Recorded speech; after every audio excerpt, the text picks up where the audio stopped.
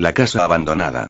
Hoy me he venido a vivir a una casa que llevaba tiempo abandonada y como nadie se atrevía a comprarla, yo decidí comprarla personalmente, ya que no temía a los rumores terroríficos que decían de esa casa, la casa era un poco silenciosa, tenía un ambiente muy frío y distante al mismo tiempo con una sensación penetrante en el lugar, la casa era muy rígidamente escalofriante pero a la vez muy acogedora, habían cosas y fotos de las personas que solían vivir ahí antes, lo cual decidí mantenerlas ahí para decorar la casa y como forma de respetar a los que salieron vivir ahí, era de noche y me dirigía a mi cuarto para descansar, cuando una silueta muy extraña se veía al fondo del cuarto, luego desapareció de mi vista por un instante y cuando menos me lo esperaba apareció por detrás de mí, alcance a ver el rostro de una niña entre los 12 a 13 años de edad y luego volvió a desaparecer, al tiempo después fuertes ruidos se oyeron en el cuarto de abajo, al llegar abajo las sillas y los muebles se movían como si algo los arrastrara fuertemente, después múltiples siluetas